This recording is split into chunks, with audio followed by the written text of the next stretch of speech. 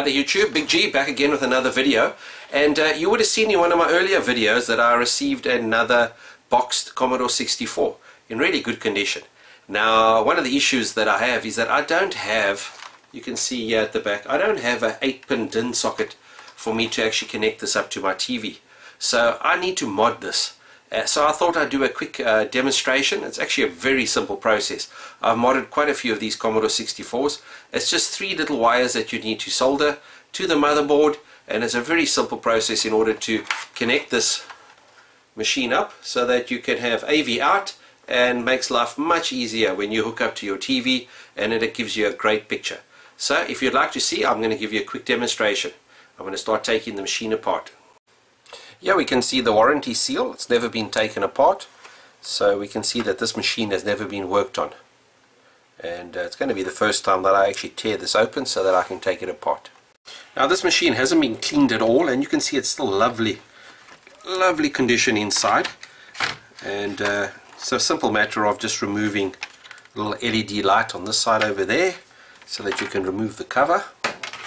And then the keyboard removing the keyboard socket over here. Let's just remove there. Carefully does it. It's quite a simple matter of just removing those. And then this little bit of cardboard shielding just clipping that off.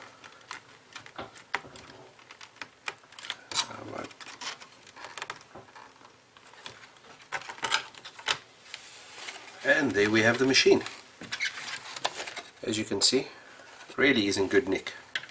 Now just a matter of taking loose a few of the screws there so that I can get to the solder points on the other side. Okay the board is now loose. And once again you can see there uh, it doesn't even look like this machine has actually ever been used. It's still in really good condition. And uh, yeah you can see your two different DIN sockets. The one that we're going to be working on is the 8 pin and you can see here at the back where we're going to be making our solder joins.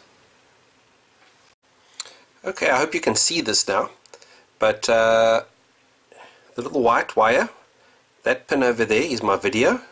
So you can see I think that's pin number 4 my video. There I've taken ground. Just get something to point with. There's my ground and there's my audio on the side over here so those are the pins that you actually attach your AV cable to. And now I'm going to solder it up and uh, just test it. Okay for testing purposes you can see here I've just I haven't put it all back together yet because I'm going to test it here on this I've got a rubber mat on here so to protect it. Um, I'll attach the power cable. I've attached my video through to the socket, this audio to the socket, and through to the solders that I did underneath there. So I'm going to switch it on and see if it is working. Okay, I'm all ready. Now for the moment of truth, just one more check.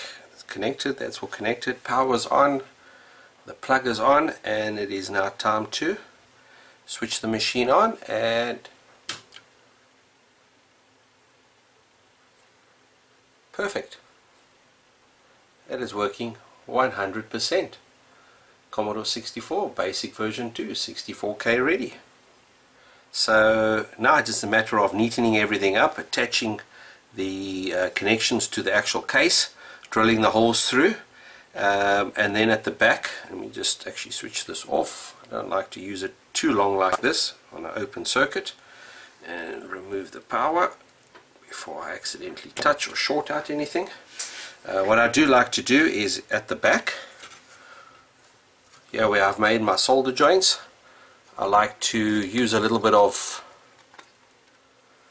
of um, the stick glue in order to seal that off. There where I've made my soldering points so that also that it cannot have any contact against anything else. So I'm going to do that so long and then I'll put it back together and show you the end result.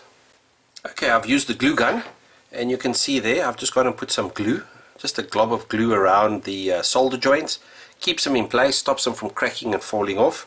And then I've just attached the cable, you can see I've just put a little glob over there, another glob over here because I'm going to be taking my cable out this side of the board when I attach it to the uh, connectors. Just makes it a lot neater easier and uh, less chance of it coming loose okay nearly finished. Um, you can see there I've wired up the uh, connections. Uh, there are the connections over there.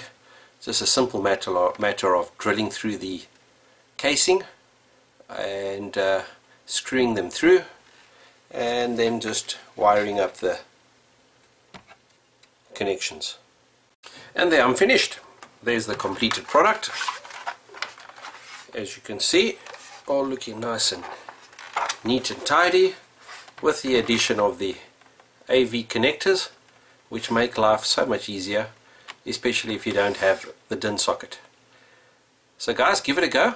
Very easy process. As you saw just three wires to solder a couple of connectors very easy to put together and uh, can make your life so much easier. Give you a great picture and uh, I'm looking forward to playing a couple of games on my C64 okay guys I hope you enjoyed that. Cheers